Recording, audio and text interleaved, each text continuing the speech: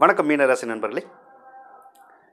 பதினெட்டு பத்து இரண்டாயிரத்தி பதினெட்டு முதல் பதினாறு பதினொன்று இரண்டாயிரத்தி பதினெட்டு வரையான ஐப்பசி மாத ராசி பலன்களை பற்றி நாம் இப்பொழுது பார்க்க போகின்றோம். மீன ராசிக்கு இந்த ஐப்பசி மாத கிரக நிலைகள் எந்த மாதிரியான பலன்களை கொடுக்கப் போகின்றன என்பதை பற்றிய பதிவு தான் இது. மீனராசிக்கு குரு பகவான் சிறப்பாகவே அமர்ந்துள்ளார். எனவே குரு உங்களுக்கு அதிகபட்ச நற்பலன்களை கொடுப்பதற்கான வாய்ப்புகள் உள்ளன. குரு பகவான் உங்களது ராசியை பார்ப்பதால் தங்களது திறமை வந்து பளிச்சிடும் தாங்கள் எடுக்கும் காரியங்களில் வெற்றி பெறுவதற்கான வாய்ப்பு அதிகமாக காணப்படுகின்றது. குலதெய்வ வழிபாடு மற்றும் கோயில் வழிபாடு ஏற்படுவதற்கான வாய்ப்புகளும் உங்களுக்கு கிடைக்கும். இதுவரை குழந்தை பாய்க்கும் மற்றோருக்கு குழந்தை பாய்க்கும் கிடைப்பதற்கான வாய்ப்புகளும் உங்களுக்கு உண்டு. பனிரெண்டாம் அதிபதியாகிய சனி பகவான் உங்களுக்கு பத்தாம் இடத்தில் அமர்ந்துள்ளதால் தொழிலில் சில சிரமங்கள் ஏற்படுவதற்கான வாய்ப்பும் காணப்படுகின்றன. செய்யும் தொழிலில் சில இடையூறுகள் வருவதற்கும் மந்த நிலை ஏற்படுவதற்கும் வருமானம் குறைவதற்கும் வாய்ப்புகள் காணப்படுகின்றன. தாங்களும் சுறுசுறுப்பு இல்லாமல் இயங்குவதற்கான வாய்ப்புகளும் உள்ளன. பணியில் இருப்போருக்கும் பணியில் சில இடைஞ்சல்கள் வருவதற்கான சாத்தியக்கூறுகள் உள்ளன. எனவே பணியில் இருந்து விலகுவதற்கான வாய்ப்புகள் கூட உங்களுக்கு கிடைக்கலாம். எனவே பணியில் கவனம் செலுத்துவது சிறந்ததாகும். இரண்டு ஒன்பதுக்கு அதிபதியான செவ்வாய் இவ்வளவு நாள் உங்களுக்கு பலம் பெற்று இருந்தார்.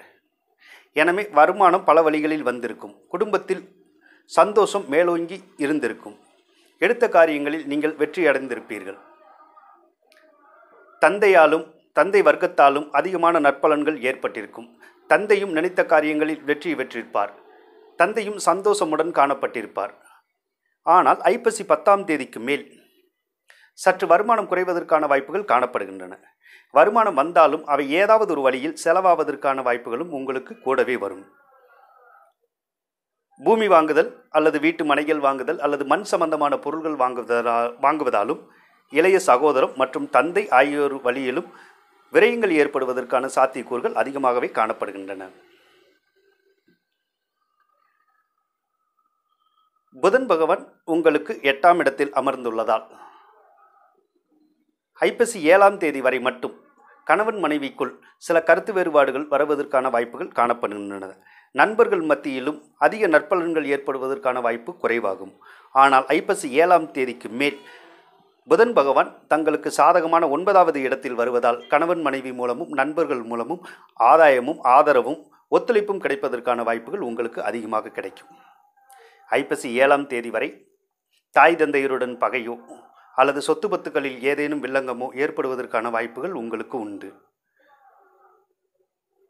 ஐப்பசி ஏழு வரை கணவன் மனைவி தந்தை இவர்களுக்கு ஏதேனும் உடலில் காயங்கள் ஏற்படவோ அல்லது சிறு விபத்துக்கள் ஏற்படுவதற்கோ வாய்ப்புகள் காணப்படுகின்றன.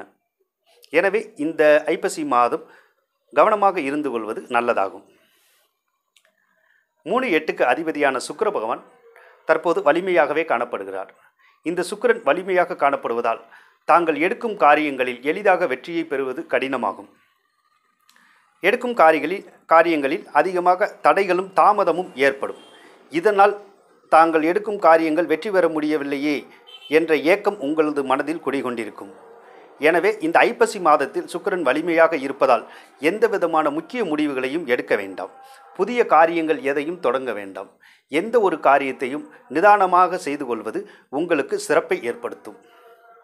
எனவே இந்த ஐப்பசி மாத கிரக நிலையில் உங்களுக்கு சில இடையூறுகளை கொடுத்தாலும் சில நன்மைகளையும் கொடுப்பதற்கான வாய்ப்புகள் அதிகமாக தென்படுகின்றன.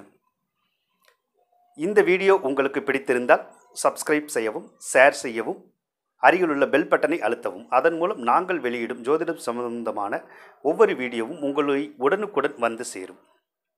நன்றி நேயர்களே.